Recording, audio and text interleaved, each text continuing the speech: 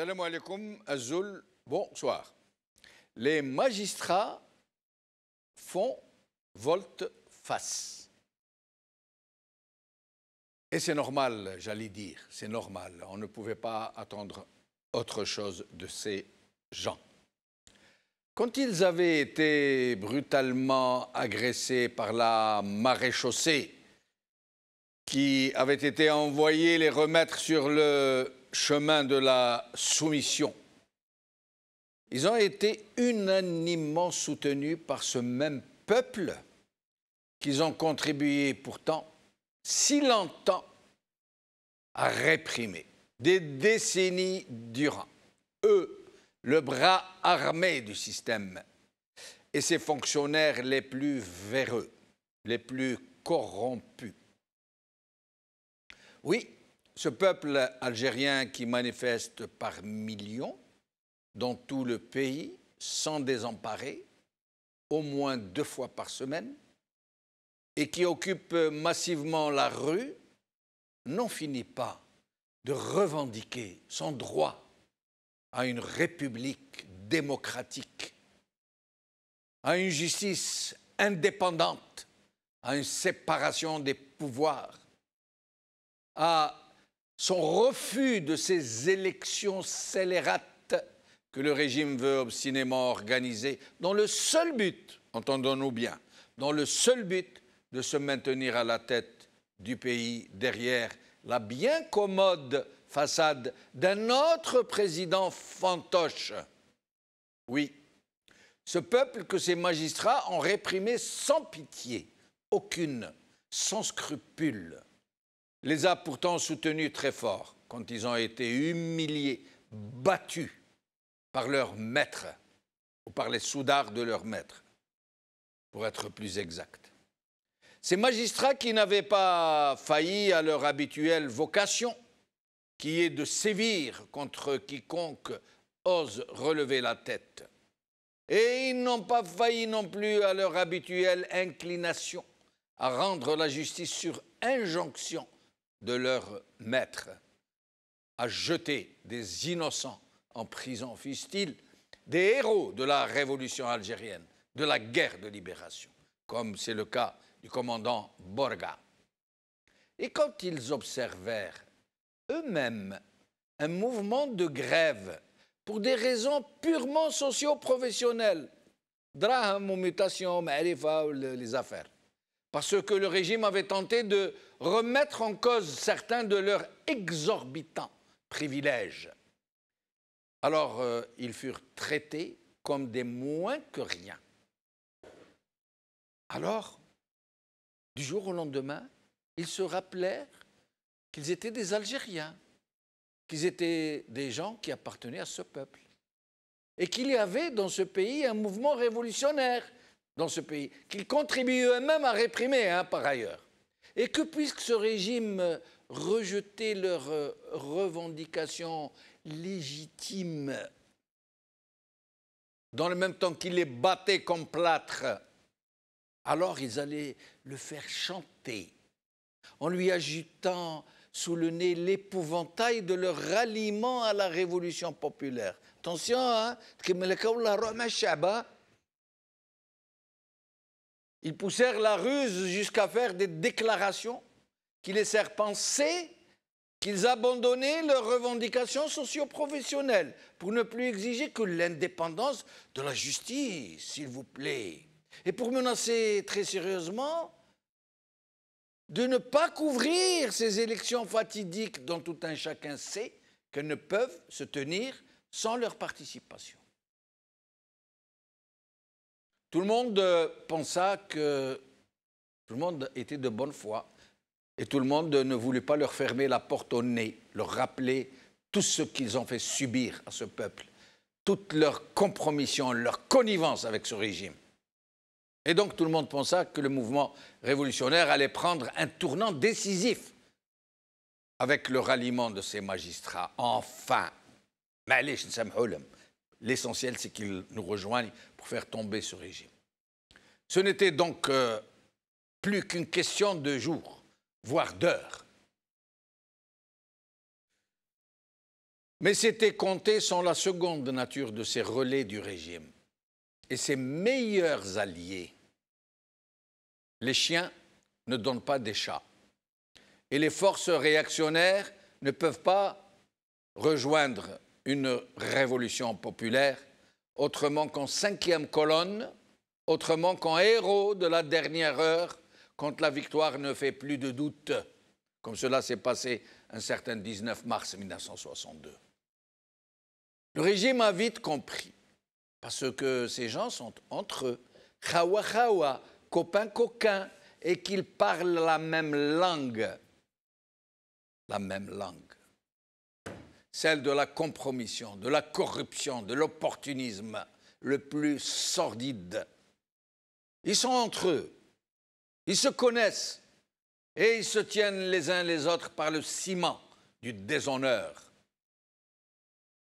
Un communiqué vient donc de tomber, livré par le syndicat de ces magistrats, le mot de magistrat, ce syndicat dont nous avons vu hier seulement euh, dans cette même émission le représentant qui nous parlait d'indépendance de la justice et de rien d'autre. Des négociations en aparté ont eu lieu où le régime a dégainé la carotte. Tiens, bouffe où les magistrats ont obtenu satisfaction. Leurs privilèges ne seront pas touchés. Ils peuvent dormir tranquilles désormais et continuer à rendre, j'allais dire, la justice. L'indépendance de la justice attendra, elle fera l'objet de débats et de discussions plus tard, nous dit-on, de façon responsable, hein, n'est-ce pas? Nous sommes entre responsables, on ne va pas jouer l'avenir du pays. Hein. On va instaurer des commissions, genre Rendé, FLN, et ils vont s'asseoir, ils vont s'asseoir sur l'affaire. Et d'une certaine manière, mes chers amis, et cette chronique, je suis sincère, c'est une bonne chose pour le peuple algérien. C'est une excellente chose il n'aura pas à s'encombrer de faux frères, de planqués qui ne sautent le pas que quand ça sent le roussi ou que ça sent la, la bonne euh, grillade. Ces opportunistes qui ne tiennent le bâton que du côté du manche, au mieux, au mieux par le milieu. Mais qu'ils restent où ils sont, dans leur cloaque, à rendre l'injustice contre le peuple. C'est mieux pour tout le monde qu'ils restent dans leur Titanic et qu'ils sombrent avec lui, enchaînés à leur maître, fidèles à leur compromission, jusqu'au bout, jusqu'au bout, jusqu'à ce bout qui a été recommandé pour faire taire leur pitoyable miaulement que nous pensions des rugissements. Oui, c'est finalement une bonne chose. La révolution restera pure, saine, sans leur miasme et leur présence en son sein. Et elle n'en sera que plus indemne des infestations et des miasmes qui rongent ce système et qui vont le tuer encore mieux que nous ne le ferons nous-mêmes.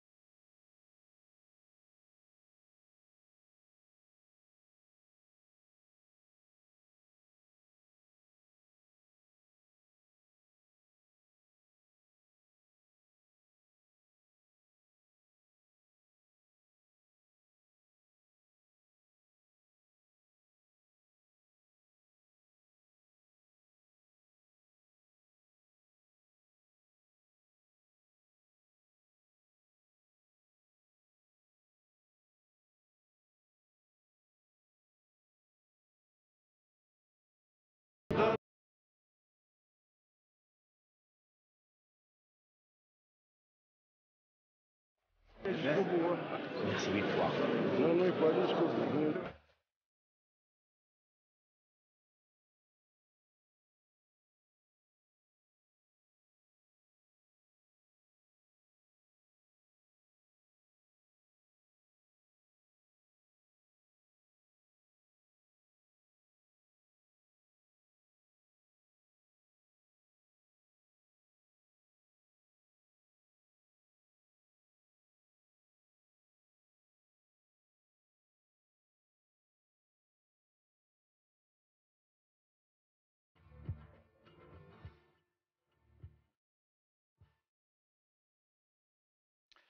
La volte-face des magistrats.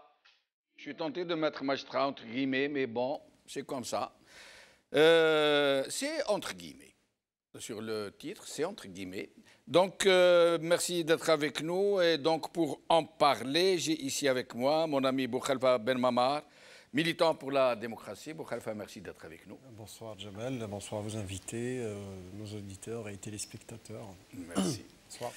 Alors, euh, pour la première fois avec moi, j'ai le plaisir vraiment d'accueillir Riles Zien, euh, militant politique, euh, membre du collectif Libérons Li- l'Algérie. C'était toujours un plaisir d'être ici et c'est la première fois que je participe à une émission avec vous. C'est un honneur et une fierté. Merci Voilà, beaucoup. merci vous. Tout l'honneur et toute la fierté sont pour moi. Au téléphone, nous aurons mon amie Amira Bouraoui, médecin, militante, indétrônable, indécourageable, si je peux me permettre ce mot, euh, pour la démocratie. Amira, merci d'être avec nous. Merci infiniment, Monsieur Benchimur. Merci pour votre invitation. C'est un plaisir d'être avec vous ce soir. Et le plaisir est pour moi, Amira. Salah Dabouz, notre ami avocat, défenseur infatigable des droits de l'homme, qui est avec nous au téléphone aussi. Salah Dabouz, merci d'être avec nous. C'est moi qui te remercie, euh, si Jamal. Je salue euh, tes invités et je salue Amira que, qui, que ça fait longtemps que j'ai pas vu. Amira, donc, a une préférence avec tout le monde. Quelle chance elle a, cette fille, vraiment. Alors, Abdel Jabbar est avec nous, étudiant à l'Université d'Alger. Abdel Jabbar, خويا بارك الله فيك مرحبا بك السلام عليكم اخي في الله سلام مرحبا خويا اهلا بك الله مرحبا بك يعيشك الله يسرك Et notre ami Mohsen Belabbas, président du RCT. Euh, Mohsen Belabbas, merci d'avoir accepté notre invitation. Mohsen Belabbas n'est pas encore avec nous Malish. Alors, Boukhalfa Ben Mamar. Les magistrats, donc au début, ils étaient un peu dans cette, euh, cette revendication socio-professionnelle, histoire de mutation. ta.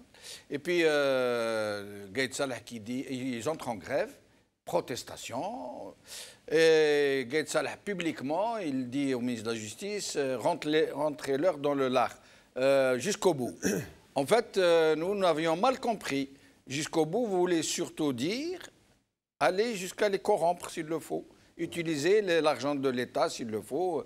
Donc euh, c'est ce qui s'est passé en réalité. Et eux qui nous parlaient d'indépendance et tout, parce qu'ils se sont fait battre. Et là, voilà, c'est rentré dans l'ordre. D'accord.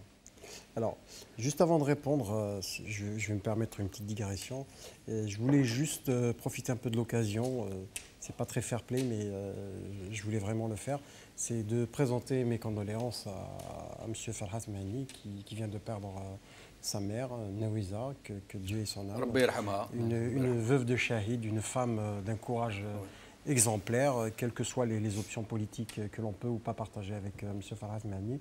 Mais je pense qu'en ces moments douloureux, parce que il ne pourra, je pense, malheureusement pas assister à l'enterrement de, sa- de- de- de sa maman, et c'est dommage. Je ferme la parenthèse. Euh, Rabbi yarhamha wa sa'liha. Je vous en prie.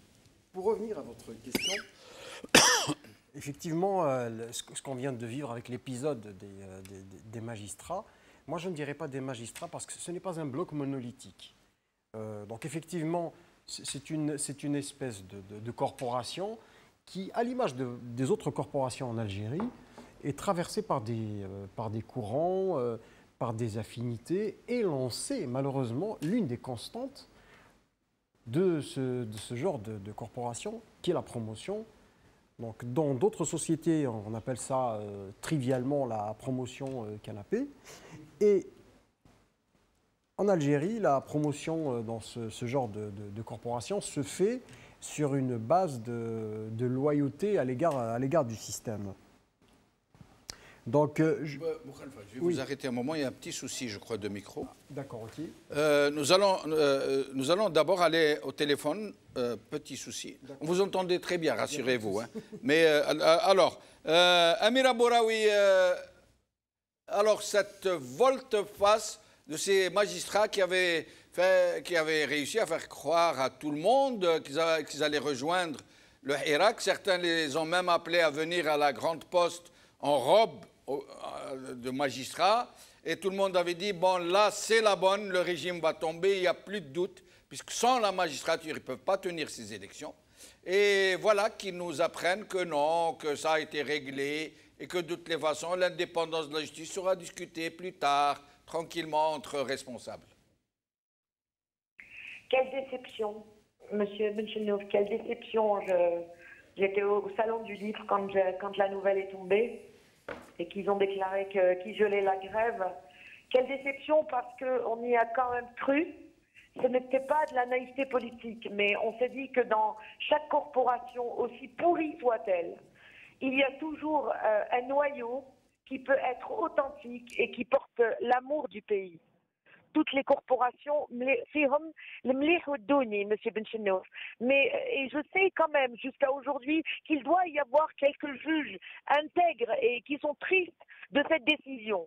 Mais la majorité a, préféré euh, continuer à soutenir ce système et on le comprend. Euh, la majorité a soutenu un bout de Bouteflika pendant 20 ans, alors que nous, militants, qui n'étions même pas dans le droit, ni, ni magistrats, ni avocats, on criait pour appliquer l'article 88, puis 102.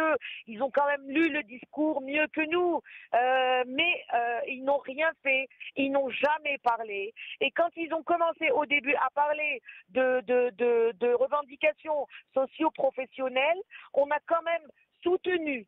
Et, et par la suite, euh, les langues commençaient à se délier. Il y avait des juges qui disaient que nous subissions des pressions, que, que nous voulons une justice indépendante. Et on y a cru. Et même les étudiants ce matin, les slogans, c'était, euh, ils demandaient euh, il euh, etc. Euh, Quelle déception. Mais euh, en même temps, nous, on y a cru parce que on aime voir le, le verre à moitié plein, euh, même si on finit par être déçu. Euh, comme vous le disiez tout à l'heure, ils font partie intégrante du système.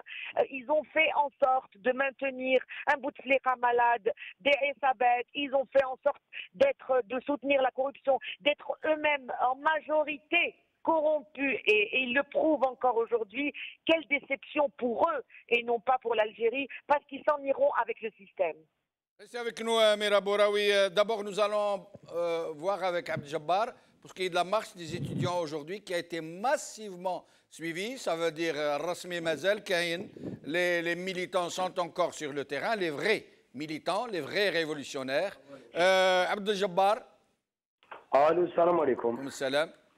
اليوم آه،. اليوم مظاهرات تاع تاع الطلاب يعني حاجة يعني تفرح بزاف. اليوم مظاهرة الشعب حقيقة. اليوم مظاهرة الشعب و... والطلاب حطوا عليها البصمة ديالهم لأنهم هما اللي صوفونا اليوم صوفونا بزاف يعني حقيقة. ألو؟ أنا سمعوا فيك عبد الجبار.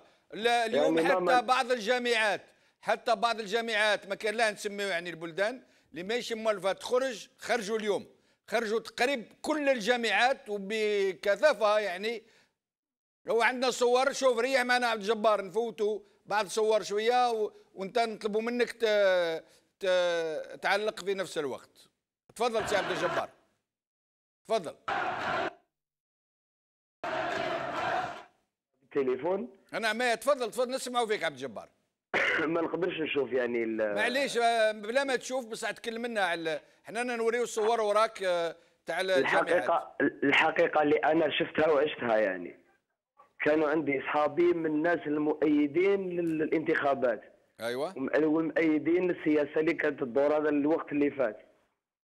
مساكن يعني بعد ما شافوا السراب والخمسة اللي خرجوهم منهم والعباد اللي ولاو يشوفوا فيهم اليوم با- بالك أنا شفت نصهم في, لامارش في الحراك. أيوه. يعني رجعوا يعني الوحيد- ولاو الناس حتى اللي كانوا مع الانتخابات ولاو ضد الانتخابات. يعني اصابتهم خيبة أمل من جهة ال- الجهة اللي كانوا يساندوا فيها و- وعاو شافوا الحقيقة يعني بعيونهم عرفوا واش كاين واش ما كانش أيوه. ولا أنت واش من جامعة راك تاع جامعة تيزي ولا آه، جامعة الجزائر؟ الجزائر الجزائر ايوا كيف صارت اليوم؟ يعني اليوم حقيقة فيها وصلنا ل- أنا كي وصلت لساحه الشهداء ايوا إذا قبل ما نبداو النشيد الوطني وتبدأ المسيرة كان كاين التفاف من جهة الشعب علينا يعني الش- الشعب كوفرانا مليح يعني الشعب دار اللي عليه وأكثر لأنه الحالة كانت شوية صعيبة اليوم الحالة كانت شوية ماشي يعني الهدوء اللي يسبق العاصفة كانت هادئه بزاف. والشعب هو اللي دار لنا الكوراج هذاك يعني خلوني نوصل للمركز ونطلع ونشد قسما بلا خوف. ولكن اليوم ولات شغل سنة كل ثلاثاء كي يخرجوا الطلا- الطلاب يلتحقوا بهم الشعب باش يحميهم. ما ولاتش سنة ولات فرض. المسيرة تاع الثلاثة تاع الطلبة بلا الشعب ما ولاتش عندها نفس. يعني الشعب اللي راهو في يخرج مع مع الطلبة في المسيرة تلقاهم كامل الشعب يحترموا الطلبة ويعاونوهم باللي كان. إلا بعض العناصر يعني كما كما كاين في في كامل البلايص كما قالت الأخت الاميره بوراوي قبل مليح في كل بلاصة. يعني الأغلبية كانت معنا وعاونتنا عاونتنا باللي قدرت عليه وأكثر. وهذه غير في الجزائر العاصمة ولا في كل المدن اللي خرجوا فيها الطلبة؟ يعني أنا على حسب واش شافت عيني في الجزائر العاصمة 100% كم صار. يعني بالنسبة لي شافت في العاصمة 100% أما بال- بالنسبة للولايات الأخرى الله أعلم لكن نسبة كبيرة يعني يكون الشعب الشعب هو اللي عطى النفس لهذا الصمود تاع الطلبة لأنه حنايا بالنسبة لنا مازلنا دي جون ومازلنا يعني نخافوا شوية بالنسبة للشعب الشعب ولا وشدنا راهم ملايمنا يعني. حقيقة قبيل انايا مور اللي ختمنا المسيرة تحيت لهم تحية عسكريه تحية للشعب أنا التحيه العسكرية. نقردف كما يقول نقردف للشعب هذا. آه، اقراص للشعب هذا اللي رانا مازلنا واقفين ومازلنا نخرجوا ما نخافوش. ولكن آه، عبد الجبار آه، نطلع عليك نفس السؤال اللي طرحته عليك المرة اللي فاتت. هو أنه أنتم الطلاب يعني اللي راكم الطليعة الطبيعية لهذا الثورة يعني آه، مازال ما لقيتوش ال- السياق باش تمشيوا إلى تنسيق بيناتكم و يعني تجمع يعني عندكم يعني آه، كما يقولوا آه، ناس اللي يمثلوكم اللي يتلاقوا مع بعضهم البعض اللي يقرروا واش يديروا يديروا ورقة طريق وإلى غير ذلك. يعني إحنا كطلبة لحد الآن ما زلنا ناقصين يعني خبرة ناقصين بزاف خبرة. وبالنسبة للسن ديالنا ما زلنا شوية صغار على الأمور الكبار هذوما باش نقدروا لهم. لكن الحمد لله يعني كاين كاين بزاف ناس اللي يوروا لك ال- ال- المخروج تاعك. وحنا رانا نخدموا إن شاء الله بان ديفلوبي واش رانا نديروا. ما نبقاوش غير نخرجوا ونعيطوا ونخرجوا ونزوا لازم يكونوا كاينين تصعيدات ولازم يكون لازم تبان المس 37 مسيرة هادو اللي مشاو. لازم يبانوا على أرض الواقع. لازم نخرجوا بحلول. نوروا حنا باللي عجينه يدينا لازم نوروها دونك تولي آه، سي عبد الجبار آه، بارك الله فيك. آه، حاولنا نتصلوا بمحسن بالعباس آه، ما يجاوبش. آه، آه، نرجع لغلاس زيان. غلاس زيان alors. Donc euh, voilà les magistrats qui avaient donné beaucoup d'espoir aux gens euh, qui leur en voulaient pourtant hein, euh, parce que ce corps est très connu pour être très corrompu parfaitement euh, soumis au régime à un point de servilité que tout le monde connaît. Mais là, on pensait qu'ils s'étaient dépêtrés quand même de cette situation honteuse et qu'ils allaient rejoindre massivement le, le- le peuple. Or, ce- voilà, ça vient de tomber. pas ce n'est s'est pas le cas. Non. Bah, je pourrais dire que bah, ça fait partie un petit peu de la, rhétorique habituelle euh, de, l'institution euh, judiciaire algérienne, puisque on n'a jamais réellement eu d'institution en Algérie, et que c'est la preuve que nous sommes réellement en dictature, puisque si le, corps institutionnel, enfin je veux dire le corps ju- juridique lui-même, on parle des, magistrats quand même, parce qu'il ne s'agit pas que d'avocats, euh, ni de simples représentants de la loi, il s'agit quand même de, des postes les plus importants de la magistrature et que on- on- aujourd'hui, en fait, ce qui s'est passé, ou du moins ce qui s'est passé depuis hier, Ils ont prouvé que finalement, l'Algérie, elle a toujours été sous, sous la dictature et que ça n'a pas changé depuis. Et que la justice en Algérie n'a jamais été indépendante. La preuve, c'est qu'ils se sont, ils se sont, euh, ils ont fait un rétropédalage hein, par rapport à leur propre positionnement, puisqu'ils avaient décidé de boycotter les élections, enfin, en partie, et de participer, de rejoindre le, le- le régime. Maintenant, de rejoindre l'insurrection. pardon, la, la euh, protestation. qui est le Hirak. ouais. Euh, ils ont fait un rétropédalage euh, bizarrement euh, au bout de 24 heures, ce qui est quand même inquiétant, puisque pourquoi ils ont, ils ont reculé Puisque quand même, ils n'étaient pas un ou deux ou trois, ils étaient quand même un nombre assez important. Ouais, ouais. Et, et là, ils ont, ils ont tous unanimement retrépédalé pour aller dans le sens du régime. Est-ce qu'ils ont été menacés? Je ne peux pas vous le dire. Est-ce qu'ils ont été corrompus? Probablement. Ou est-ce que probablement la plupart de ces généraux ont des affaires et des casseroles aussi hein, derrière eux Donc euh, finalement, ils se sont rendus compte qu'eux aussi, ils avaient une part de responsabilité dans la situation de notre pays et qu'ils ont réfléchi, ils ont dit ah, peut-être qu'on ne va pas se précipiter à aller avec le peuple, puisque nous-mêmes, on va se retrouver finalement sous la coupe de ce peuple qui va nous juger peut-être nous-mêmes. C'est c'est une possibilité. Mais euh, de là à donner une explication rationnelle et cohérente, il n'y a pas d'explication rationnelle en fait à ce, à ce, à ce, Moi, j'en vois une. Moi, j'en vois une. Moi, je vois que ces magistrats en- se sont mis en grève pour des raisons socio-professionnelles, puis poussés à leur dernier retranchement. Oui. Ils ont opté pour rejoindre le- le- la protestation, ne pas organiser des élections et exiger, exiger, c'est le mot de leurs représentants, Oui. une indépendance de la justice. Et puis, au bout de 24 heures, comme vous dites, euh, parce que les, les- les principales annonces ont été faites hier. absolument oui. Euh, taf, on nous dit non, non, c'est réglé, ça y est, c'est bon, on a négocié avec le régime, on reprend le travail, on couvre les élections, et pour ce qui est de l'indépendance de la justice, on, la renvoie au calendrier grec. Ça me fait penser un petit peu euh, au mouvement des policiers contestataires quand ils sont sortis. Quand ils savez. sont sortis, euh, Euh, qu'ils ont marché Et- sur la présidence. Exactement. Donc ils ont marché parce que c'était uniquement l'objectif, c'était d'avoir des augmentations au niveau des Absolument. salaires. Voilà. Euh, probablement, c'était une stratégie des magistrats, peut-être. Ouais. Mm. C'est à envisager. Peut-être. Enfin, sur le plan des hypothèses, on peut tout imaginer euh, qu'ils ont utilisé le Hirak pour obtenir des- leurs propres besoins. C'est-à-dire peut-être que probablement. C'est le avait- cas, hein, je vous rassure. bah, bah, c'est la seule explication rationnelle. Pourquoi sortir et prendre le risque de finalement de se faire arrêter, puisque euh, j'ai entendu Tabassés, quelques- ils ont été Oui, puis tabassés par des gendarmes, j'ai entendu des déclarations du ministre de la Justice comme étant une désobéissance de leur part, une désobéissance envers Hmm. Une mutinerie, une rébellion. Rébellion. Donc, Ouais. C'est très grave. Ouais. Donc est-ce qu'il y a eu un compromis entre eux, finalement, pour, euh, pour obtenir certaines choses Allez savoir. Mais euh, il n'y a aucune explication logique sur le fait que les magistrats ont décidé du jour au lendemain de rejoindre le Hirak parce qu'ils estimaient que finalement il n'y avait qu'une seule voie, unique en. Algérie, c'était la voie du peuple, et que peu importe la décision que le régime prendrait d'aller vers les élections ou pas, la solution elle était entre la même- les mains du peuple. Et là, ils refont marche arrière et ils vont dans le sens du gouvernement. Est-ce qu'ils jouent à un jeu dangereux ou est-ce qu'ils ils essayent d'ouvrir une petite fenêtre pour dire au peuple que finalement, nous aussi, on est contraints d'obéir Euh, J'essaye de comprendre, mais à mon âge, j'ai du mal. C'est peut-être dû au fait que j'ai pas suffisamment d'expérience dans le monde politique. Et on va demander à quelqu'un qui a beaucoup d'expérience, Salah Dabouz, Avec plaisir. Salah Dabouz, qui connaît très bien ce corps et qui en a beaucoup souffert. Et, je reste mesuré. Hein. Ils l'ont fait, excusez du terme, ils l'ont fait baver, comme on dit. Salah Dabouz, euh, alors, euh, votre avis sur ce rétro-pédalage, comme le qualifie Riles Zian Euh, écoutez, Jamel, euh, d'abord, euh, je voudrais juste corriger quelque chose. Ce corps ne m'a pas fait baver, c'est moi qui a fait baver ce corps, je pense. Allez, Alors, donc, ah, mais quand même, quand on vous inflige un contrôle judiciaire, euh, euh, Ouais, Salah ouais, non, mais Dabouz, je- je- quand vous je- pouvez déplacer euh, 600 kilomètres, euh, euh, Ah je ben, sais pas combien de plaisir pour te dire. Écoute, moi, le contrôle judiciaire, je l'ai fait avec beaucoup de plaisir. Peut-être que ça va t'étonner, parce que c'était ma façon de résister. J'ai dit euh, dans une pleine audience à un juge, je lui ai dit, j'ai aucune confiance à la justice, mais je dois lui montrer du respect parce que la loi l'exige.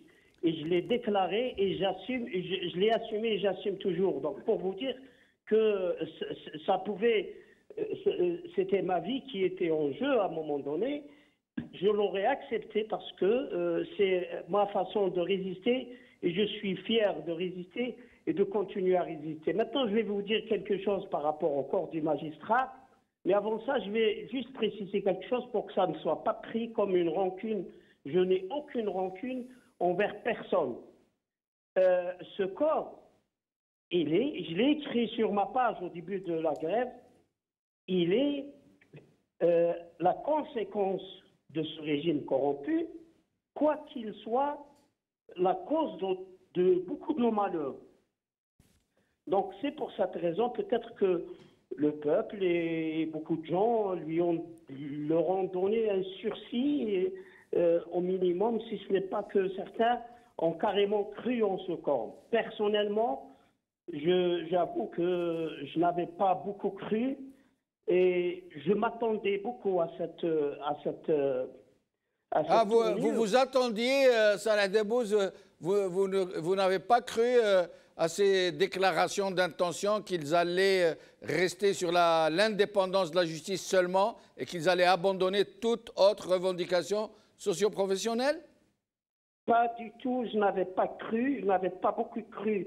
Quoique je- j'ai fait, alors dans ma page officielle, j'ai tout écrit en accompagnant ce mouvement et vous allez trouver des indices qui disent que faites attention, ce n'est pas, c'est trop beau pour euh, être vrai. Alors, euh, euh, pour que le- les gens comprennent ça, d'abord j'ai déjà expliqué que c'est le bras du système pour euh, faire, euh, comme on dit, la société avec les services de sécurité. C'est les magistrats qui nous condamnaient pour attroupement non armé, parfois même armé, et pour atteinte à l'unité nationale à l'occasion de, des activités qui sont exactement les mêmes qu'ils ont tenues pour contester le régime. Donc, c'était très, trop même beau pour être vrai. Mais on était dans l'obligation de leur accorder un, bénéfice de doute, je dirais. Peut-être, on ne sait jamais, peut-être qu'à un moment donné, ils ont vu le peuple, ils, ils voulaient se rejoindre. Mais dans, dans leur mouvement, il y avait aussi trop d'indices qui disaient que c'était, non, je- maintenant je ne vais pas mâcher mes mots, c'était une ignoble opération de chantage tenue par un groupe de magistrats envers le régime, on, est, pourquoi je dis ça? En profitant de la révolution pour dire si vous ne nous donnez pas des avantages matériels, eh ben, on va vous faire euh, pourrir la situation puisque Donc, euh, Dabouz, si j'ai bien compris, ils ont utilisé euh, cette menace de rejoindre le Irak juste pour euh, faire chanter euh, Jma'a, قالت كو إحنا نرجع معاكم. Euh, Ils ont, ils, ont, ils ont eu ce qu'ils voulaient, ça y est. Donc, c'est c'est ce que vous êtes en train de nous dire. Oui, oui, oui, je- nous avons des preuves parce qu'ils ils, ils communiquaient par écrit. Ah, d'accord. Bah, ils ont mis un communiqué pour dire euh, nous voulons euh, une justice indépendante sans préciser pourquoi et comment euh, la justice peut, peut être indépendante pour, plaire au peuple. Mais en même temps, ils ont détaillé euh, leurs revendications professionnelles et deux jours après, je crois, ou trois jours après, après, ils ont mis un autre communiqué pour dire que cette grève, et beaucoup de gens n'ont pas vu ce communiqué, mais il existe. Je peux le republier sur ma page. Ils ont fait un communiqué pour dire, bon, de toute façon, notre grève ne concerne pas les élections. Et là, ils se sont trahis. C'est-à-dire ça, c'était un message envers Gaïd Saleh. Mais nous, on avait un problème à régler avec le ministre. un mouvement ministre on est bien avec toi. Donc ça, ce deuxième communiqué euh, qu'ils ont, qui les a vraiment trahis. Et puis après, il y a eu une autre déclaration bizarre qui disait que toutes les décisions euh, prises envers les gens du Hirak étaient prises euh, en toute euh, liberté. Oui. Alors moi, j'avais Oui. posté, j'avais posté sur ma page, j'ai dit alors pourquoi vous faites la grève? Puisque vous dites que on veut la liberté de, de la justice et vous dites que vous êtes libre. Donc la grève devient quelque chose euh, de, de, de pas justifié. Maintenant, si vous avez des problèmes euh, euh, sociaux, professionnels, vous pouvez les traiter à l'intérieur d'une structure, puisque vous êtes de la même nature du régime. Donc, pour cette raison-là, malgré que c'était clair pour moi, j'étais dans l'obligation, on dirait, on va dire que d'engagement euh, pour euh, la révolution, d'essayer quand même de, pousser ces juges ou ceux qui restent comme groupe de juges. Euh, peut-être qu'ils qu'ils pourraient dire que voilà, nous, on est avec le Hirak, même si on revient au travail, ça aurait été le, la position, comme on dit en Algérie, Ta'arjel. Je, je dirais, euh, ils auraient dû dire, écoutez, on peut même abandonner les revendications professionnelles, mais on ne va pas encadrer euh, les, élections parce qu'on est avec le peuple. Et vraisemblablement, c'était trop demandé. Restez avec nous, Salah Dabouz. Euh, je reviens à vous, euh, donc, on a trop demandé, on a trop espéré. finalement, ces gens sont irrécupérables, vraisemblablement, puisque, à la limite, on aurait, pu dire le syndicat des magistrats micheliens, c'est des gens qui sont là, qui encadrent, qui, euh, qui tiennent le, corps tout entier. Mais on, serait attendu à une sorte de, contestation à, l'intérieur. De magistrats qui disent non, nous on n'est pas d'accord, on ne veut pas trahir le peuple. Il n'en est rien. Il n'y a rien, pas un magistrat ne s'est prononcé de, dans, ce, dans ce sens. En fait, il faudra reprendre, revenir à la genèse institutionnelle en Algérie surtout en ce qui concerne ces corporations. Donc si on revient... Corps. Hein, c'est des corps. Oui. C'est quasiment le corps de la justice. Hein, oui, effectivement, parce qu'on revient, on revient même aux heures sombres, euh, c'est-à-dire les, les, deux dernières années précédant l'indépendance.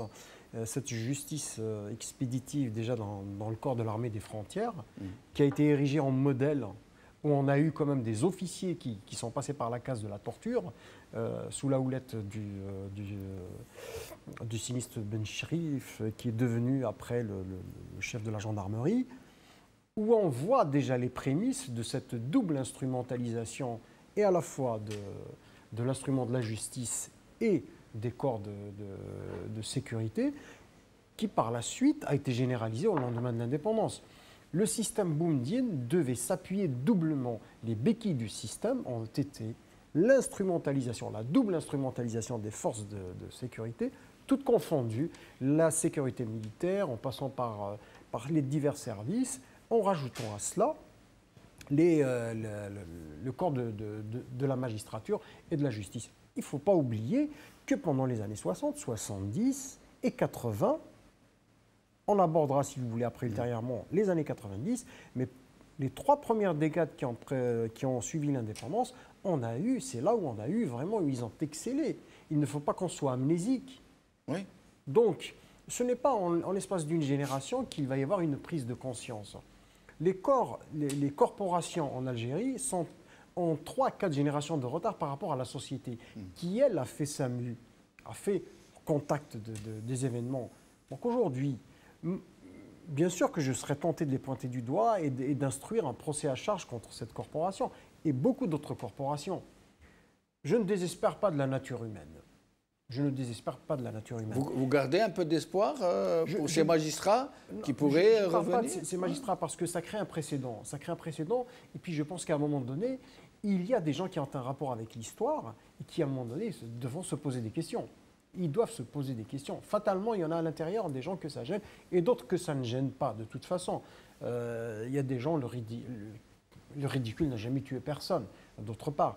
Et d'autre part, il y a des gens qui ont une, attitude inconséquente vis-à-vis de l'histoire et ils ne se rendent pas compte de, ce qui se passe.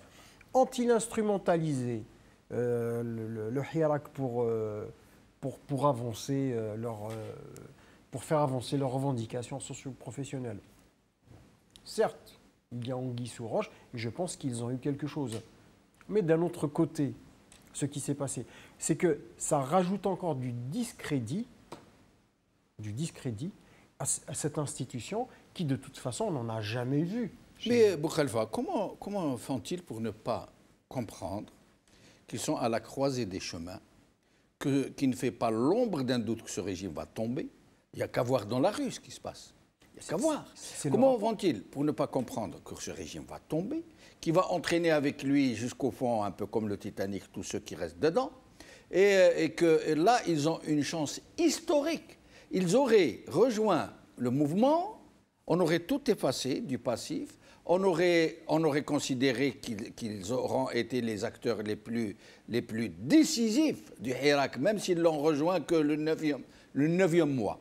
Mais euh, là, ils ne comprennent pas ça, juste pour une question de petits sous, de mutation, pour ne pas être envoyé loin d'Alger, euh, pour ne pas être envoyé loin d'Oran, loin de... Mais c'est incroyable d'être aussi stupide.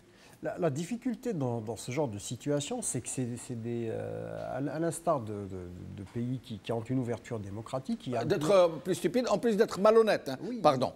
Il, y a, c'est-à-dire qu'un pluralisme syndical aurait peut-être permis d'avoir des syndicats de la magistrature avec certaines couleurs politiques, avec des engagements en faveur de pro ou anti quelque chose. Nous n'avons pas ça. C'est-à-dire que les possibilités pour que des voix divergente s'exprime dans ce corps n'existe pas. Et prendre le risque, c'est-à-dire que moi je ne m'intéresse nullement aux corrompus de cette, euh, de cette corporation, mm. je m'intéresse surtout à ceux qui, à un moment donné, peuvent créer un mouvement et entraîner des autres et permettre une expression autre que celle qu'on a eue, c'est-à-dire celle qui va s'inscrire dans la perspective historique de la Révolution, de dire d'être conséquents avec eux-mêmes et de dire qu'il y a une chute du régime. Non pas réagir de façon opportuniste et de se dire le régime va tomber, donc on va se repositionner pour pouvoir... Au moins, au moins à, défaut d'être honnête, moi j'aurais attendu d'eux qu'ils soient au moins opportunistes, mais qu'ils soient des opportunistes intelligents, c'est même pas le cas. Mais encore une fois, la difficulté, c'est qu'on n'est pas en présence d'un corps qui est euh, monolithique. Donc il est très... Ah, apparemment, oui. Apparemment, si. Puisque, puisque là, personne ne réagit. Bah, personne. Personne ne dit Ah non, moi je ne suis pas d'accord, moi je suis pour rejoindre la, contestation populaire. Mais justement, c'est là où réside, où réside la cimentation, de, la, ce ciment institutionnalisé euh, dans, dans, la genèse. Il faut revoir ce système, comment il a été conçu.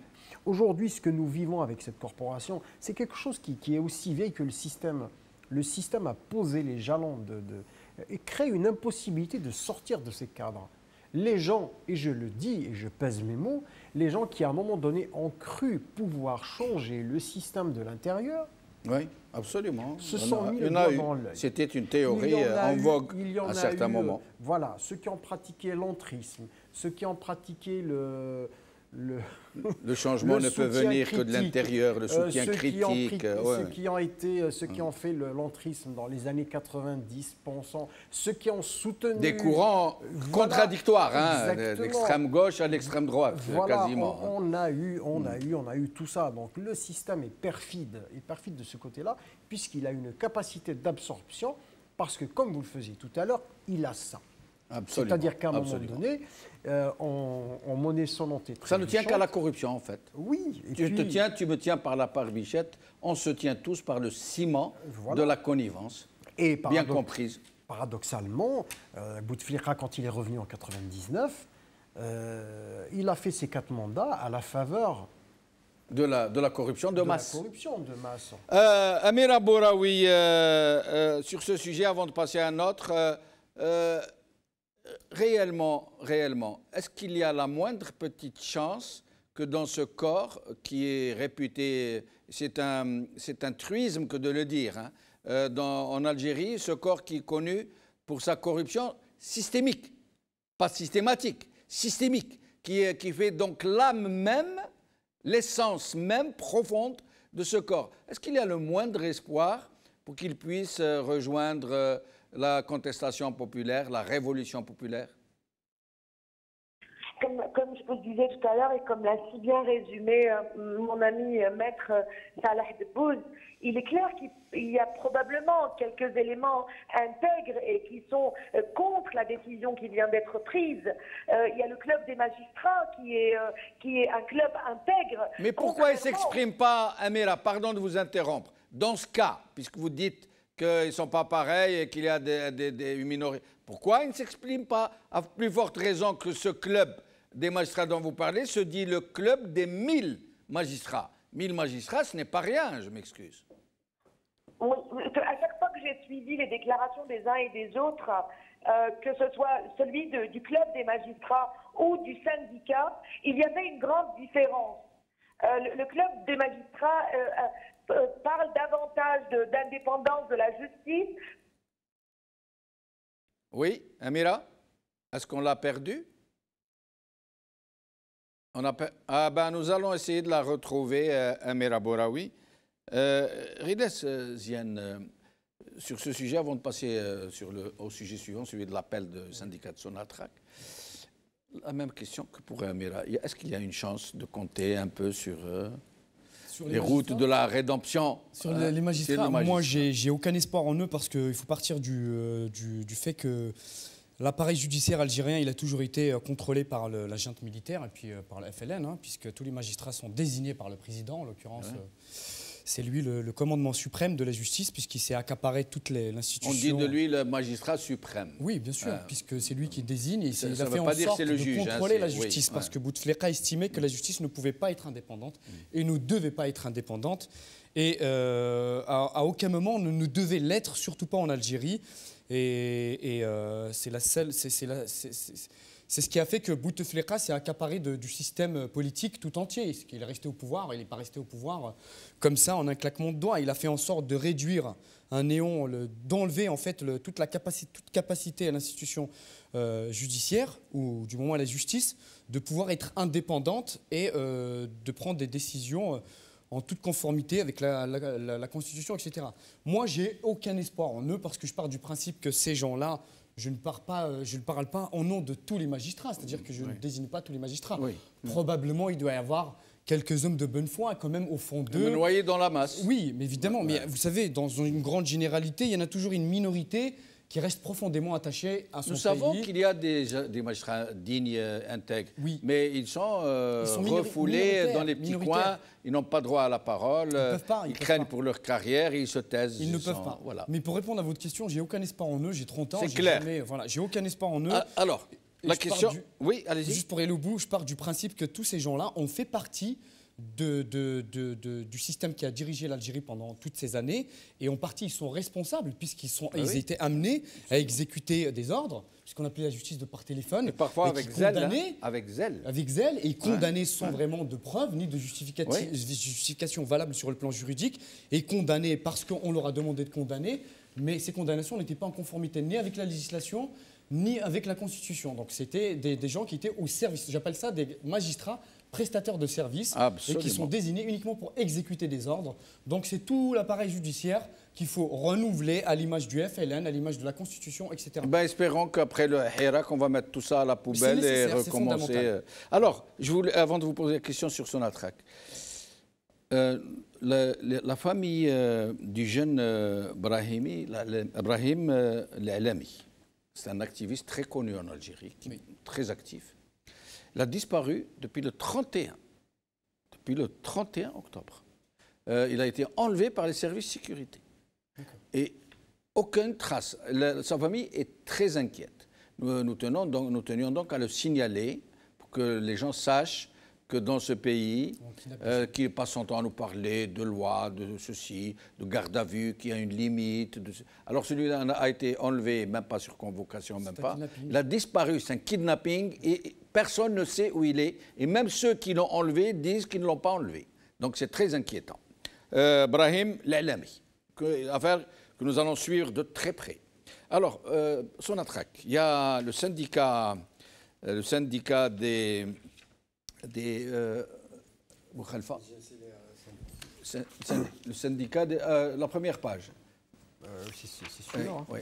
Syndicat Des travailleurs de l'énergie. les travailleurs de l'énergie qui appellent à une grève générale qui touche toutes les directions de son Exact. attraque. Parce que quand on dit syndicat des énergies, c'est et à la fois la production, euh, le traitement, l'extraction et tout ce qui relève de la chaîne de production pétrolière, Voilà. gazière et tout ce qu'il faut. Très bien. Euh, nous, en tant que militants euh, politiques, évidemment sans porter d'étiquette en particulier, mais au sein du MJC par exemple, on a depuis 2014, on a euh, dénoncé en fait euh, la situation euh, au sein de son attraque. Donc on a désigné le principal responsable de la situation, enfin de la politique qui est menée au sein de son attraque, qui est Wiltro Dor. Bon, maintenant il a été limogé en- entre guillemets, soi-disant, mais je pense qu'ils ils ont fait en sorte qu'il s'évade par la petite porte.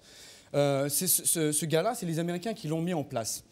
Et il a fait en sorte, de, évidemment, de privilégier la France dans l'octroiement des parts des marchés pétroliers, gaziers, de forage, d'exploitation, d'extraction et d'exportation du pétrole algérien, du gaz. Et euh, il a fait en sorte de favoriser la France et les Américains. Nous, on a toujours dit que la seule possibilité, la seule alternative pour qu'on puisse avoir un rapport de force, c'est les ouvriers eux-mêmes et les ingénieurs et, ceux qui sont amenés à gérer la production, l'extraction, l'exploitation du site, des, des sites, puisqu'il y en a plusieurs, il y a à la fois le gaz et le pétrole.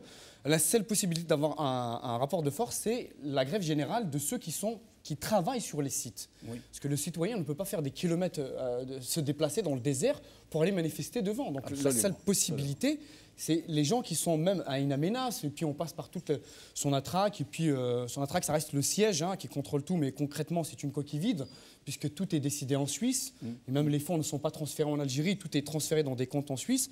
L'Algérie, euh, son c'est une coquille vide en soi. C'est-à-dire que c'est juste, euh, on, fait croire que Sonatrach, euh, il y a des cadres au sein de la Sonatrach, etc., et que c'est la Sonatrach qui est indépendante, elle gère l'énergie de l'Algérie. C'est totalement faux. Alors, je vais vous interrompre une seconde. Nous venons de recevoir un, un, un, une information très urgente, très grave. Le commandant Borga a été évacué sur l'hôpital Mustafa Bacha dans, un- dans- dans un- une situation, semble-t-il, critique. Et euh, l'hôpital est quasiment encerclé. Par. Encerclé par des forces de sécurité, on ne sait pas lesquelles, gendarmes ou police. Je vous laisse poursuivre et nous reviendrons sur cette étonnant. information Donc oui, qui nous a euh, été donnée par notre ami Lias Filali. Donc, euh, pour revenir à, à la contestation des, euh, des Mais si, syndicats, ça- si la grève a lieu, oui, euh, c'est nécessaire, c'est fondamental. C'est fondamental. Parce que ça mais va faire tomber le régime. Y a- probablement, ça va les impacter sur le plan économique. Ils Écono- sont- Mais il suffirait de 4-5 jours de grève pour que ça mette. Il suffit juste C'est la d'arrêter la seule production. ressource, on ne dira jamais il suffit assez. d'arrêter la production. Voilà, c'est la seule Oui. ressource Oui. qui permet Oui. de faire tourner ce pays Bien et sûr. donc de, corrompre euh, toute la population. C'est la vache à lait de l'Algérie. C'est la vache à lait de l'Algérie. Bien sûr. Si ça s'arrête 4-5 jours, Oui. non seulement ça va provoquer un séisme à l'intérieur, Oui, mais ça va aussi. attirer l'attention de tout l'international sur ce régime, sur euh, sa, vraie, sa vraie nature. Bien sûr. Et donc, euh, ils ne le permettront pas, les généraux. Ils ne le permettront pas. Ils n'ont pas, le- ils ont pas le choix. Qu'est-ce qu'ils vont faire? Ils vont réprimander, ils vont arrêter, ils vont interpeller. Vous pensez qu'elle pourrait se- euh, euh, vraiment se déclencher, cette grève? La, la, la, la Parce qu'à un certain moment, Oui. le, le principal syndicat de Sonatrach, ce n'est pas ce syndicat, c'est l'UJTA. Oui. Et l'UJTA, c'est très connu que le syndicat de Sonatrach est le syndicat le plus corrompu. De la plupart de ses responsables sont milliardaires. Je vous l'accorde, Quand je dis milliardaire, je mesure mes mots. Ça veut dire oui. Très milliardaires, Je si suis d'accord. Euh, donc, euh, leur intérêt est que ça ne bouge pas. Oui, ça ça, change pas. ça, ça, ça reste au sommet de la hiérarchie syndicale. Oui. Mais quand vous descendez plus bas, ça reste salarial et des ouvriers. Donc la décision finale, finalement, c'est comme le Hirak. On dit le gouvernement veut y aller aux élections, mais le Hirak dit nous ne voulons pas aller des élections. Donc ils font un rétro-pédalage. Donc on essaye de passer. Si on voit qu'il y a une forte pression populaire, on recule, on essaye. Donc on a eu les élections au mois d'avril, ils voulaient les faire passer, ils ne sont pas passés. En mois de juillet, ils voulaient les faire passer, ils ne sont pas passés. Là, en mois de décembre, ils veulent les faire passer, ils vont aller tous seuls les élections et personne ne, ne- ne participera à ces élections. Donc dans le corps des syndicats, ce qu'il faut faire, c'est les ouvriers et les, enfin, les, les- les salariés et les ouvriers qui sont affiliés à ces syndicats. Salariés, tout, toute hiérarchie confondue, de l'ingénieur au simple... Évidemment, évidemment, parce que après, c'est- une question d'éthique et de responsabilité commune. Oui. Euh, moi, je suis ingénieur à la Sonatrach, je sais que euh, la Sonatrach est un élément fondamental au bon fonctionnement du régime, puisque c'est ce qui lui permet de, se renflouer ses caisses, donc d'avoir une manne financière assez importante pour corrompre, pour acheter, se constituer une clientèle, euh, ce qu'on appelle des lobbies clientélistes, acheter des hommes d'affaires, acheter, euh, voilà, euh, co- corrompre jusqu'à des institutions extérieures pour saboter des chaînes comme Al Libya pour pas qu'elles diffusent des informations. Donc vous voyez que le pouvoir financier, il est important absolument. et c'est ce qu'on appelle des lobbies financiers assez Absolument, importants. Donc il faut leur couper les vivres. Et pour couper les vivres, bah, tout simplement, le pays il est souverain. Les hydrocarbures, ils ont été nationalisés, donc ils appartiennent au peuple algérien.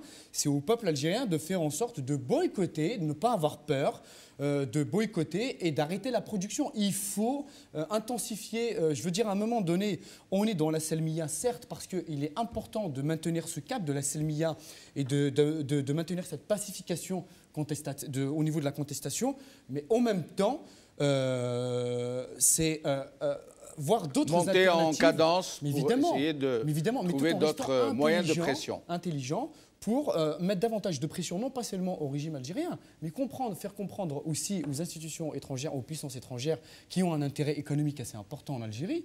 C'est- Voilà, hein, vous avez la France qui, aujourd'hui, avec les nouveaux contrats et le nouveau, la nouvelle loi, puisque aujourd'hui, il y a eu une plénière où il y a toute une proposition, une palette euh, de, de- de lois à revisiter, etc., jusqu'en 2020. Donc ils sont dans un processus où ils veulent vendre l'Algérie à tout prix pour ga- garder le pouvoir. Quasiment. Bien sûr, et ça, il faut, il faut- faut le prendre en considération que ces gens-là n'hésiteront pas à octroyer des parts de marché assez importantes à des puissances étrangères juste pour que celles-ci se taisent et ne se mêlent pas de ce qui se passe en de, Algérie. c'est de la corruption à l'international. Mais bien sûr, et de la complicité de la part de ces puissances étrangères. Et c'est pour de ça qu'elles soutiennent ce régime. Ah, le- Et c'est pour ça qu'un pays comme la France Oui. fait une pression sur Eutelsat pour qu'elle chasse El Maralibi. Mais c'est de l'hypocrisie. C'est aussi clair C'est de l'hypocrisie parce que finalement, on ne peut pas défendre des valeurs telles que la démocratie, l'émancipation des peuples par la pacification et la transmission des valeurs universelles, liberté, égalité, fraternité, émancipation par la comme démocratie, ça, de le cette dialogue, façon. etc. Et puis de l'autre côté, on soutient un gouvernement corrompu, euh, limite. Une euh, mafiocratie. c'est une mafiocratie, c'est un régime autoritaire qui est basé sur une idéologie euh, militaire qui, re- qui remonte jusqu'à l'URSS, à la guerre Eh froide. non, non, c'est surtout une idéologie de rapine. rapide où ils sont persuadés Ouais. que le militaire doit rester au pouvoir et que c'est le militaire qui détient toutes les solutions de Et nous revenons bonne à, gouvernance. à Amira, euh, que nous avons rejoint de nouveau. Amira, euh, vous voulez poursuivre ce que vous disiez tout à l'heure avant que je vous pose une question sur son attraque Euh, oui, oui, je, on parlait donc des, des magistrats et je vous disais que euh, même si la majorité est probablement corrompue et même si, vous savez, quand j'ai quand j'ai manifesté mon soutien euh, aux, juges, ce n'était pas les juges que je soutenais, c'était l'indépendance de la justice. Ça m'a choqué de voir que le pouvoir exécutif s'en prenait au pouvoir judiciaire, de voir des gendarmes euh, euh, en train de tabasser des juges, je n'ai pas ressenti ce sentiment d'insécurité depuis la décennie. Ça fait peur. C'est l'absence carrément d'État. Et, le soutien était celui de la justice et, d'une institution. Ils ont été décevants et c'est vrai que j'ai eu beaucoup de commentaires. On m'a dit comment pouvez-vous soutenir des juges qui nous ont trahis pendant 20 ans et plus? Comment pouvez-vous les soutenir? Et moi, je parlais de justice et non de juges, même si je sais qu'il y a une minorité d'intègres entre eux. Mais il semblerait que la majorité soit corrompue et que euh, le- le- les, citoyens qui me disaient pourquoi tu soutiens ceux qui ont eu des, des baccalauréats avec rachat et qui ne peuvent que se faire acheter. Donc je demande à la nouvelle génération quand même et ceux qui vont passer le bac, si vous avez des bacs avec de très bonnes moyennes, arrêtez de faire médecine et pharmacie. Nos médecins, de toute façon, on est en train de les exporter, ils n'arrivent plus à travailler ici. Faites droit, faites sciences humaines, qu'on améliore le niveau. Sinon, avant que vous me posiez votre question, je tiens quand même, Monsieur Benchenouf, à être aux côtés de la famille du Moudjahid Bourga. La nouvelle que vous venez de nous donner me fait beaucoup, beaucoup de peine. Parce que, vous savez, le 1er novembre dernier, c'était l'aura de Bourga. Tout le monde criait Bourga dans la rue vendredi dernier. Je pense qu'il mérite vraiment une émission. C'est un grand monsieur, un homme intègre, un homme à principe, un vrai Moudjahid. Et c'est très triste ce qui arrive. Et on s'y attendait, un homme de 87 ans, très âgé, et qui finit aujourd'hui à l'hôpital. Nous allons, nous allons d'ailleurs clôturer l'émission d'aujourd'hui sur ce sujet. Euh, je vous demanderai de nous donner euh, votre avis euh, sur Sonatrach, cet appel lancé par ce syndicat euh, à toutes les directions de Sonatrach, euh, depuis le plus haut sommet de la hiérarchie jusqu'au plus bas, de se mettre en grève.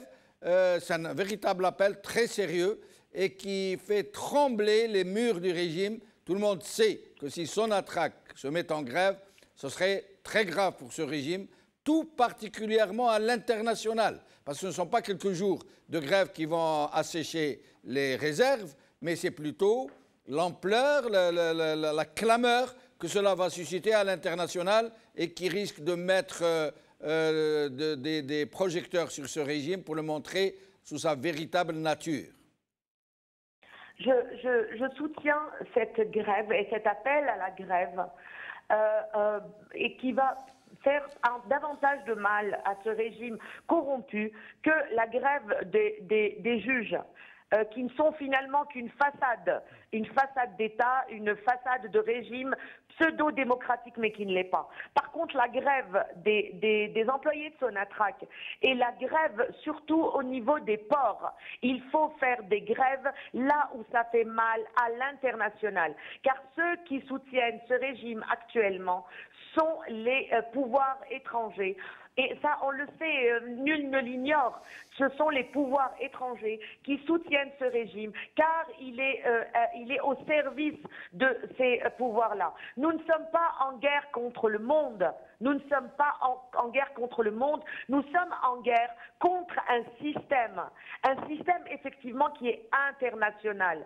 On- on- on- nous ne sommes pas contre le fait de travailler avec les autres pays, mais pas pour l'intérêt que des étrangers. L'intérêt de notre pays nous importe aussi. Nous, en avons marre de voir nos jeunes prendre des barques et partir. Nous voudrions investir dans notre pays. Nous voudrions que ce pétrole-là, qui est devenu maudit parce qu'il nous- fait de nous un peuple soumis, nous aide à investir et à nous éloigner de cette dépendance aux hydrocarbures. Car il viendra le jour où il n'y en aura plus et à ce moment-là, c'est toute l'Afrique qui va monter en Europe. On a besoin d'investir ici pour pouvoir vivre ici, manger ici et garder nos enfants ici. Et de la manière dont ils sont en train de faire pression sur un guide ou autre pour faire en sorte qu'ils puissent à chaque fois prendre tout bénéf et nous exporter des bêtises que l'on pourrait produire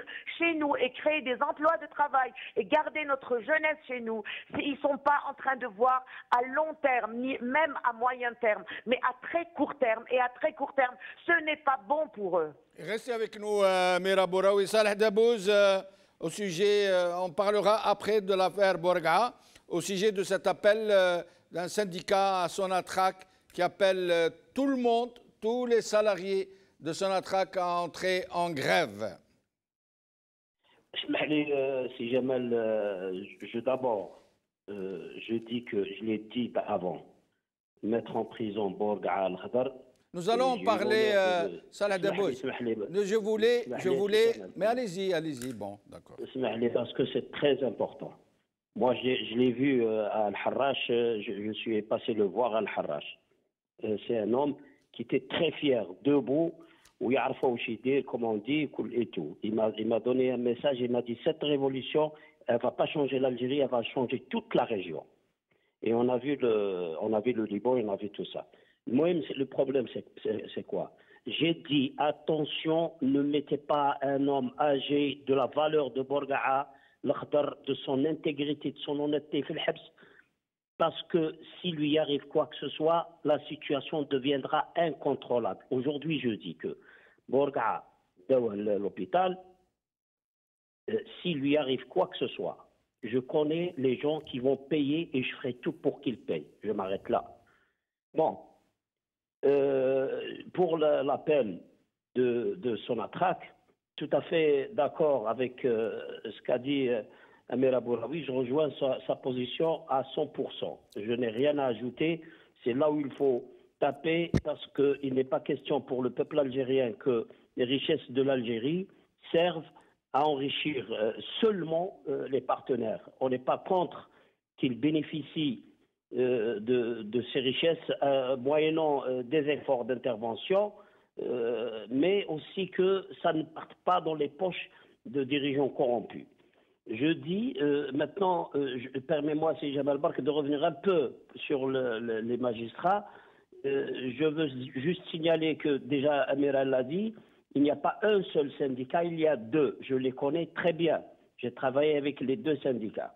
Le club des magistrats, effectivement, c'est un syndicat qui est nouveau, euh, qui euh, fait des propositions très très directes et claires. J'espère qu'ils vont continuer dans ce sens, quoique euh, j'espère aussi qu'ils ne vont pas être réprimés. Aujourd'hui, nous avons le communiqué d'un seul syndicat, pas des deux syndicats. C'est-à-dire que les pouvoirs publics ne considèrent pas du tout le club des magistrats et j'espère qu'ils ne vont pas leur nuire.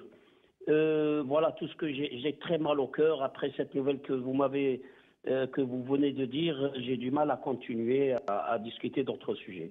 Merci. Restez avec nous. Euh, alors, nous allons parler du commandant Lakhdar Borga. Comme nous ne savions pas que c'est survenu en pleine émission, d'abord, c'est un homme très estimé par les Algériens. C'est l'un des derniers vrais combattants de, de l'ALN euh, dans la guerre de libération nationale, ce qu'il est convenu d'appeler la révolution algérienne, déclenchée le 1er novembre 1954. En 1954, lui était dans l'armée française comme appelé. Il faut le préciser parce qu'on a essayé de salir avec ça. C'était un conscrit, ça veut dire qu'il a été, app- il a été pris par la force. Il y en avait pas mal. à cette Voilà, époque. il y a- tout le monde, Bien sûr, tout le monde faisait son choix, service militaire. hein, sûr. Et dès qu'il est sorti en 1956, il a rejoint l'ALN à la wilaya 4. Donc euh, je vais prendre les informations que je trouve ici. Et euh, il rejoint la wilaya 4 euh, où il accomplit la totalité de ce qui reste de 56 à 62. C'est un ancien combattant moujahid de l'intérieur, de l'ALN de l'intérieur. Pas comme les moujahidines de Tunis ou de. Oujda. Une grande différence, co- contrairement à la plupart de ceux qui ont pris le pouvoir. Alors lui a été membre du CNRA et, et- et il, euh, il était un opposant à Boumediene. Il, il a été en prison pendant sept années, je crois. Il a été atrocement torturé. Et il est sorti.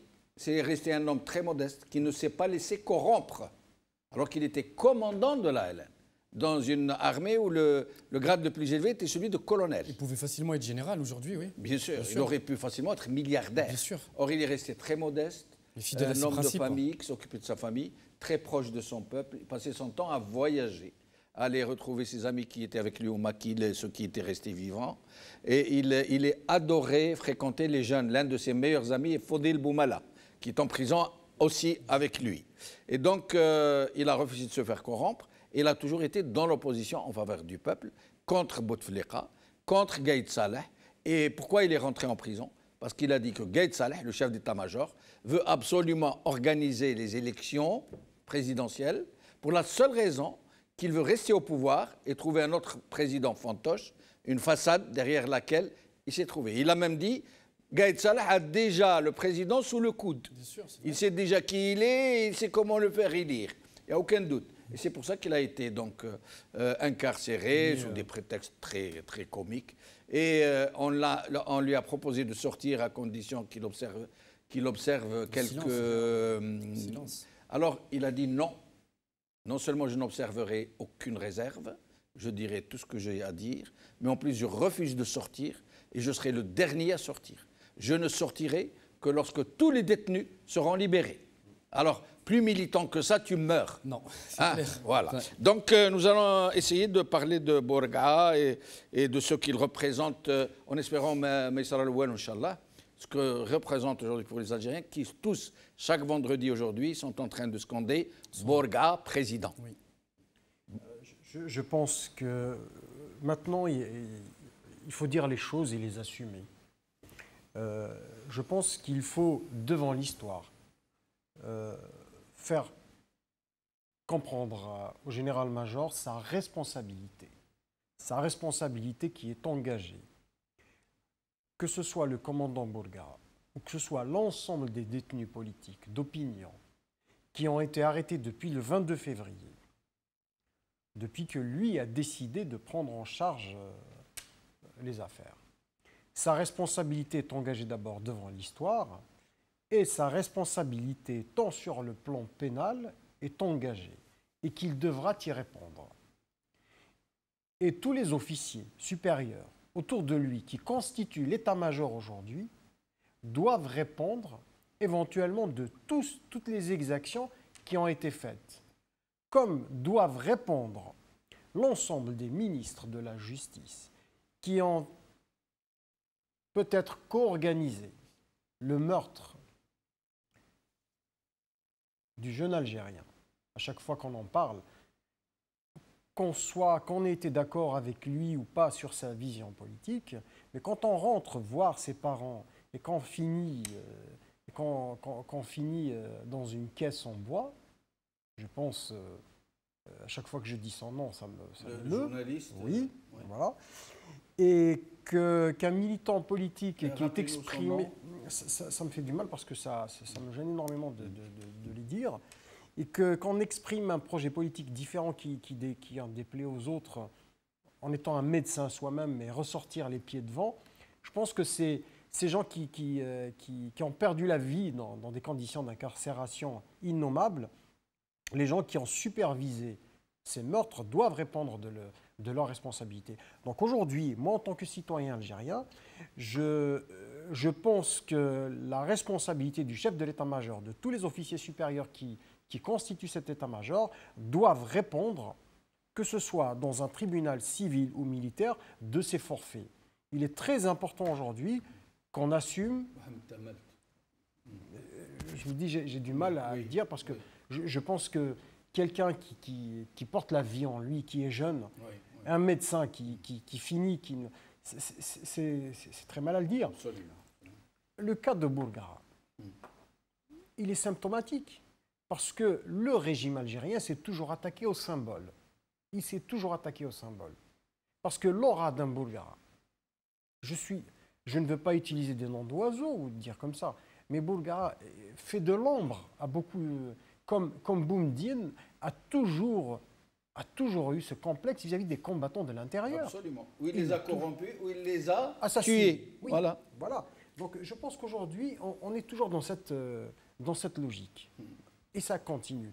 Et je pense qu'aujourd'hui, le risque, le risque, comme l'a dit Matar Dabous tout à l'heure, c'est que la radicalisation, et moi je ne le souhaite pas non plus, je ne le souhaite pas non plus, mais je pense que quand on emprisonne un symbole de la sorte et que le traitement qui lui est réservé est dans la déchéance, reflète aussi la nature fascisante du système et qui il devra de toute façon récolter ce qui sème.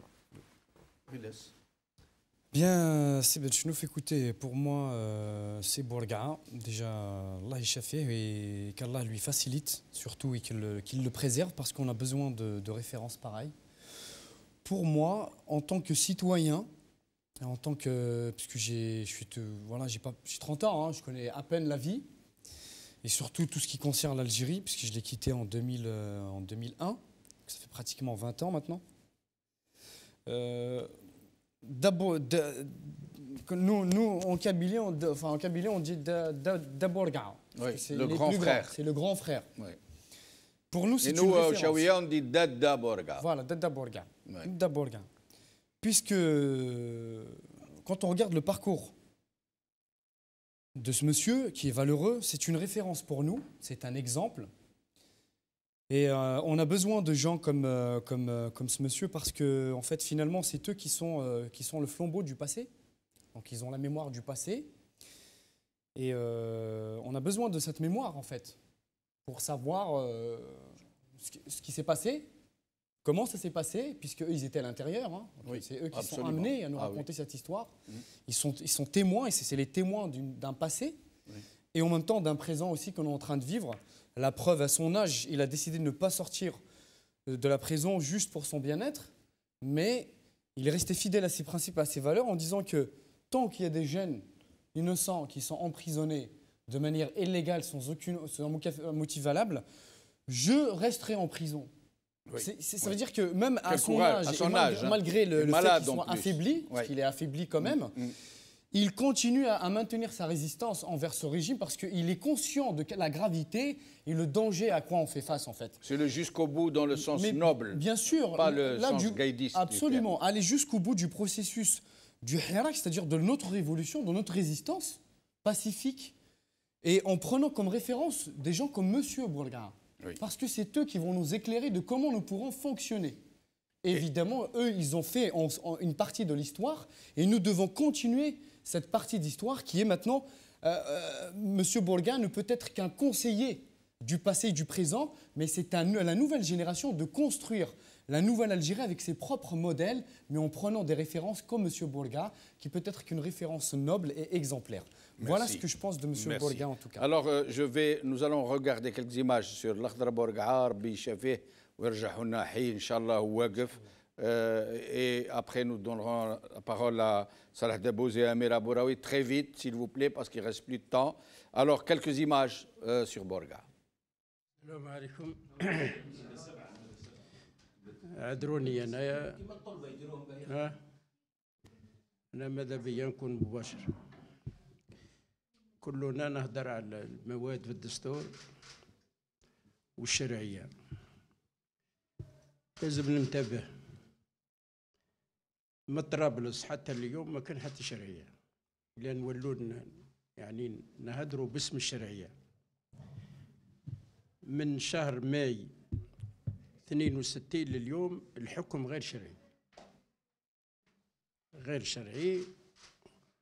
وبالدليل الانقلاب الأول في تريبولي على المجلس الوطني ثم على الإكزيكتيف الحكومة ثم على النظام في الداخل الهيكلة نتاع جبهة التحرير ثم كسروا كل شيء. اليوم إحنا رانا نبحثوا عن الوسيلة. راحت لنا الغاية. رانا هنا نتفقهوا على كل حال كيفاش نحلوا المشكل. راني خايف يعني البحث عن الوسيلة تذبنا الغاية. الشعب الجزائري اليوم أصبح يعني كشف الحقيقة. والرأي العام أصبح له قدرة الاستشعار عن بعد مثل الآلات الإلكترونية الحساسة. وهذا الشعب سمعنا منه الكثير في الشارع. سمعنا شعارات سمعنا أصوات سمعنا. إحنا اليوم كثير الناس اللي ذكروا القايد صالح. القايد صالح هذا من العهدة الرابعة هو كوميسار بوليتيك تاع بوتفليقة ولا محافظ سياسي تابع يمجد في في في بوتفليقة الآن القايد صالح يتهم الشارع باللي محرك من أطراف خارجية. هو الأول اللي راح للإمارات. ثلاث خطرات متتالية. وجا لهنا وبعث الشركاء نتاعو لأوروبا. رمضان العمامرة والأخضر إبراهيمي وغيرهم. الآن المشكل واضح. نبتعد الشرعية هذه اللي ما كاش عمرها ما كان الحكم شرعي حتى اليوم. أنا تسمحوا لي عمري ما استعرفت عمري ما كنت دخلت في بالي باللي الحكم هذا من 62 لليوم شرعي اليوم جاء جيل ثالث تعلم وقرا وتع... Désolé d'avoir interrompu, il ne reste plus de temps. Euh, Salah Dabouz, en moins d'une minute, s'il vous plaît. Au moins d'une minute. L'Akhdar Bouraka, il est en prison parce qu'il a dit Gaïd Saleh est parti trois, trois fois à, aux Émirats. Oui. Gaïd Saleh, il faut qu'il rende compte. Il dit واش كان يدير في الامارات parce que ce qu'il a fait في الامارات d'après Bourga ça, c'est le premier point. Le deuxième point, euh, l'Akhdar ne traite le seulement pour ce qu'il a dit, mais surtout pour ce qu'il pouvait dire et qu'il n'a pas encore et qu'on faire. Merci, Salah Dabouz. Je, je, veux dire que après la face de la, des juges, il y en a qui sont honnêtes, c'est sûr. Il faut maintenant saisir la justice internationale. Il s'agit de crimes contre l'humanité دخل تملت ودخل فخر ودخل بورقع et tu programmes leur mort. Ce n'est pas seulement cela, et c'est la justice internationale qui va pas être saisie. Euh, merci, Salah Dabouz. Amira de Boraoui, en moins d'une minute, s'il vous plaît. En moins d'une minute, alors euh, une grande personnalité, une personnalité intègre, une personnalité humble. Il avait demandé à me voir en 2014 quand je m'opposais au quatrième mandat. C'est mon ami Faudel Boumela qui me l'a présenté. Je me suis dit comment ce grand monsieur veut voir cette petite militante de rien du tout? Il, m'a vu de manière humble. Il m'a dit qu'on avait raison de nous de militer contre euh, ce quatrième mandat, contre Bouteflika, contre et, c'est un- c'est une grande personnalité. Et puis il suffit de compter de notre côté, du côté du Hirak, on a Bourga'a, on a Ben Youssef Mellouk, on a avec nous Bouhired, on a avec nous Irine Hariz, on a avec nous beaucoup de Moudjahidines. Et en face, on a juste Gay Salah qui est contre tout ce beau monde. L'histoire s'écrit, le flambeau se transmet d'une génération à une autre et j'espère qu'il va sortir en bonne santé. Merci, Amira Boraoui. Merci, Rilas Zien. Merci, Boukhalifa Ben Mamar. Merci Salah Dabouz, merci Abdel Jabbar. Euh, désolé de ne pas, ne pas avoir pu joindre Mohsen Ben Abbas. Je vais vous dire, euh, mes chers amis, أولا يحيى بورقعة ربي يعيشوا بورقعة إن شاء الله يخرج بصحته على خير ونستقبلوه إن شاء الله في بلاده. آه، يعود بابانا وخونا وإن شاء الله يقودنا ويكون هو الكلمة نتاعنا مع هذا النظام الخبيث هذا النظام المتعفن. وشي كاينة حاجة نذكرها كان هو يقولها بعد وهو يوصي عليها قبلنا الكل سلمية. بالسلمية نغلبوهم. وانا غلبناهم ما بقى والو. يعني حتى كي يروحوا معاهم القضاة نتاعهم هذوك غير يحكموهم ليهم ما عندنا ما نديروا بهم. لا لا لا لا بالسلمية وبالأخوة. ترميني واحد ما يجي يفرقنا ما كانش. إحنا كل خوا. سوم توس دي سيتويان الجيريان qui aspirons à la démocratie, à la justice sociale, à la séparation des pouvoirs, à une vraie démocratie et à, où nul ne sera plus jamais opprimé. Vive Borga, khair, salama.